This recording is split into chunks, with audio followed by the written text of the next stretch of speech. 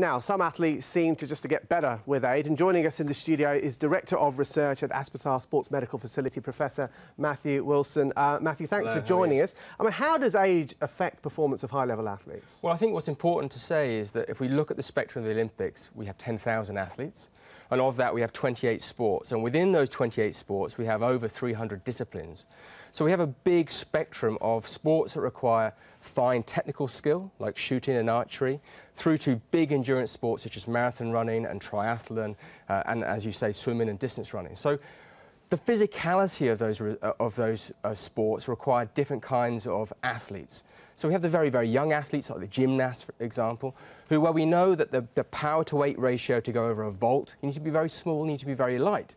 So actually, as they progress through their adolescence, they actually are self-selected out, where they get too heavy and they're not as flexible as they used to be. Where we take athletes like Jo Pavey, as you said, to get to do a 10K and to do marathon, it requires immense dedication and training volume. And when I say training volume, I mean athletes that are capable of running over 100 miles per week.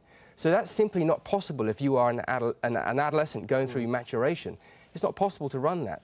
So the sports require different kinds of physicality, and with that comes the, uh, the age evolution, shall we say. Yeah, I mean, but one thing that is true, that some athletes are, are continuing to compete and in some cases improving into their 30s and 40s. That's something that's definitely changed in, in my lifetime. Is it simply a case of that sports science is better now and they're looking after each other in a better I think, way? I think you've really hit the nail on the head there. So sports science and the complement of sports science, whether it's strength and conditioning, biomechanics, the technical aspects of it, so the, the guys working with computer uh, simulations and nutrition actually are really uh, uh, progressing the longevity of the athlete's career.